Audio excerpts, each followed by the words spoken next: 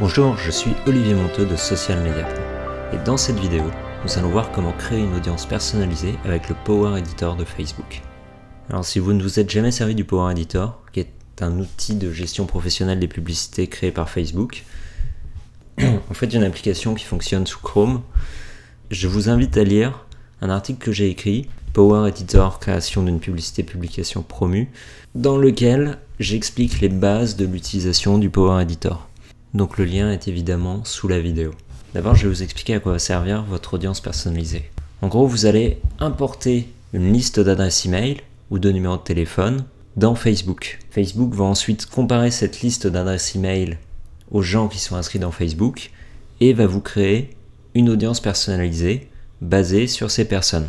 Cela va vous permettre de cibler les prospects inscrits sur votre liste directement sur Facebook. Par exemple, si vous avez une liste de clients et que vous ne souhaitez cibler que ces clients, eh bien vous pourrez le faire avec l'audience personnalisée.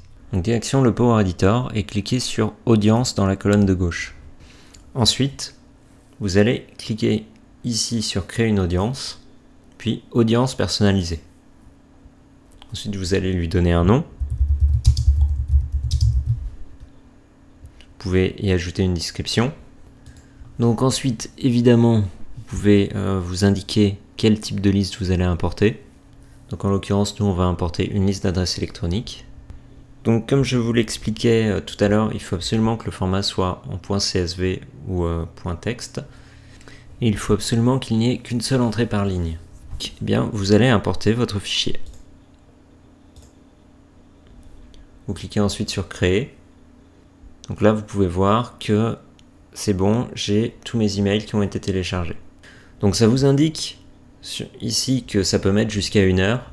Alors moi, en général, pour une base de données de, 3500 emails, comme ici, ça met 2-3 minutes. Hein.